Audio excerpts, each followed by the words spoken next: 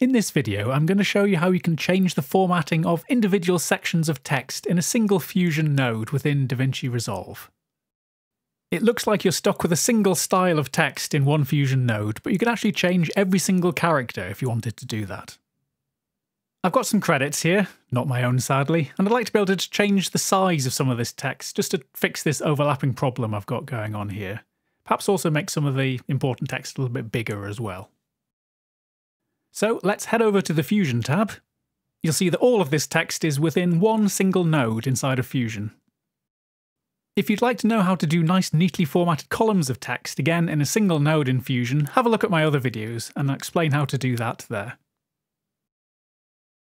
So to be able to change the formatting of individual sections of text, if you right click in the text box and choose character level styling.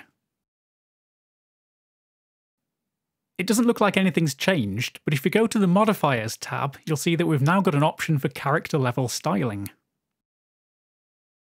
So what you can do now is select just the text that you'd like to change by dragging a box out around it.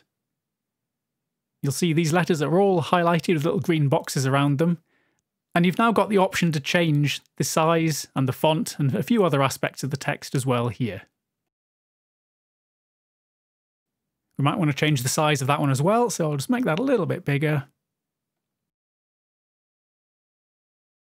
If you want to change the font or the font styling, you can do this here as well. And again, these changes will only apply to the text that you've got selected. So heading back over to the Edit tab, you can see we've got this text formatted differently to all the other text.